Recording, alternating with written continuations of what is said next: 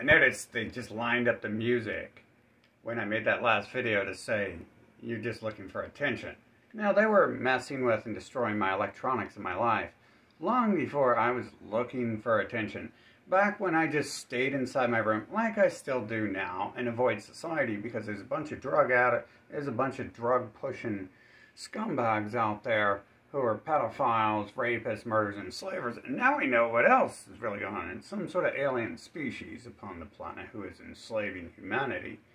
And uh, how many of the people out here are actually clone AI clones that they've created in the game world to support their global terrorist network?